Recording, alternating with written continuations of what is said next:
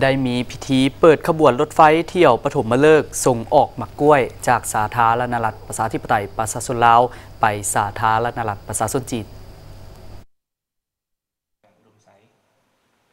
ในวันที่ 5 ธันวาคม 2022 นี้กรมปลูกฝังกระทรวงเกษตรกรรมและป่าไม้ได้ร่วมกับบริษัท ส่วนเย่จัดพิธีเปิดขบวนรถไฟเที่ยวปฐมฤกษ์ส่งออกหมักกล้วยจากสาธารณรัฐประชาธิปไตยประชาชนลาว ไปยังสาธารณรัฐประชาชนจีน เป็นเกียรติเข้าร่วมพิธีในครั้งนี้มีทานกี่แก้ว สิงห์นาวงศ์รองรัฐมนตรีกระทรวงเกษตรกรรมและป่าไม้ท่านบุญถึงดวงสวรรค์รองรัฐมนตรีกระทรวงอุตสาหกรรมและการค้า พร้อมด้วยรองประธานสภาประชาชนนครหลวงวิจันทร์ท่านหานเย่ผู้รับผิดชอบสัวขาวของห้องการเศรษฐกิจการค้าสถานทูต สาธารณรัฐประชาชนจีน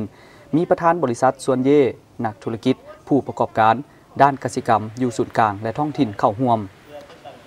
ท่านกีแก้วสิงห์นาวงศ์ได้กล่าวว่า อิงตามบทบันทึกความเข้าใจ ในการร่วมสร้างโครงการ1ทาง2เขต ได้ลงนามเซ็นในวันที่ 26 สิงหาคม2022ระหว่างกระทรวงเกษตรกรรมและป่าไม้ และองค์การปกครองประชาชนแขวงฮูนาน สาธารณรัฐประชาชนจีนระบุว่าแขวงฮูนานจะจัดซื้อผลิตภัณฑ์กสิกรรมจากลาว 1 ล้านต้นต่อปี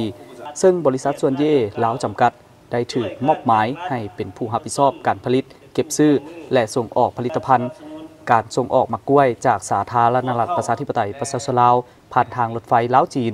ไปยังสาธารณรัฐประชาชนจีน ในขบวนรถไฟขนส่งครั้งปฐมฤกษ์ดังกล่าวนี้ แม่นมีจำนวนขนส่ง25ตู้คอนเทนเนอร์ ด้วยระบบเย็นได้บรรจุหมากกล้วย500ตัน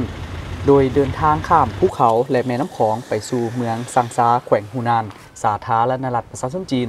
ซึ่งเป็นขบวนรถไฟขนส่งผลิตภัณฑ์กสิกรรมเทือทำอิฐายหลังได้เซ็นบทบันทึกร่วมกันสร้างโครงการ1ทาง2เขต โดยภายหลังพิธีเปิดการส่งเสริม แม้นจะมีการสืบต่อส่งออกมะกกล้วยที่มีคุณภาพสูง และผลิตภัณฑ์กสิกรรมอื่นๆ จากลาวไปแขวงฮูนาน สาธารณรัฐประชาชนจีน โดยผ่านทางรถไฟลาวจีนในอาทิตย์หนึ่งบรรลุ2ขบวน